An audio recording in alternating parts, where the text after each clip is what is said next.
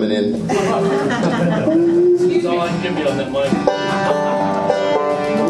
Here's an old standard song that uh, Jim and Jesse sang this, and uh, Johnny Bond wrote it. You'll know it. We're going to do a few couple of standards. Here's one.